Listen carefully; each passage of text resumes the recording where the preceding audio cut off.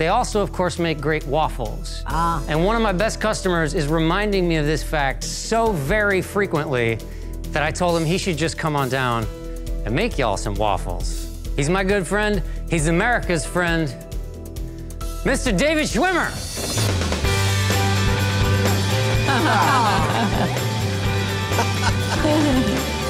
there you go. What? Wow. Schwimmer? Hi, Sean. Wait, can I go Hi. hug him? Gwyneth. I have to hug we? him. We did a movie We together know in each the other 90s. for ages. Hi. Hey. How are you? What on earth are you doing I know, here? this is crazy. I'll explain. Okay.